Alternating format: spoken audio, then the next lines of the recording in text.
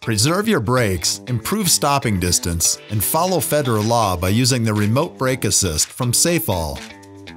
This brake assist works in tandem with the tow truck and installs inside the cab of a disabled truck, safely applying functioning brakes. This system works with both air and hydraulic brakes and is controlled by the air brake system on the towing unit with a hose that runs from the rear of your tow truck to the actuator. This will allow the remote brake assist to apply pressure to the brake pedal at the same time the brakes in your truck are applied.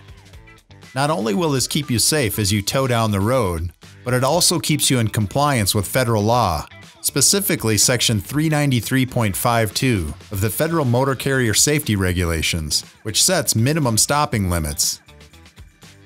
Installing the SafeAll Remote Brake Assist can be done in just a few steps, First, you need to secure the steering wheel to make sure that it cannot turn. To do this, you will need to install a separate steering wheel lock.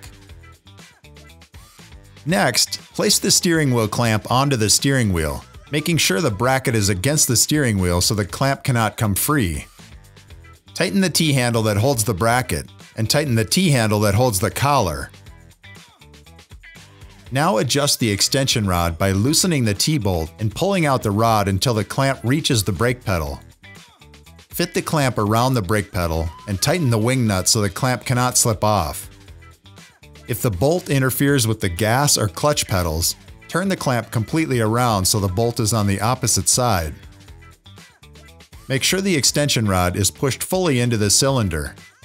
Now you need to tighten the T-bolt that secures the extension rod in the barrel. Next, connect the air hose from the service line of the tow truck to the valve assembly on the remote brake system.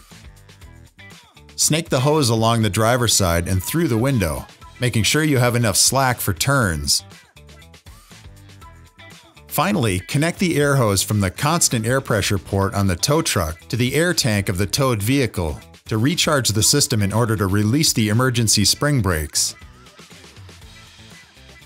Make sure to double check that everything is tight and secured, and test the system before using it.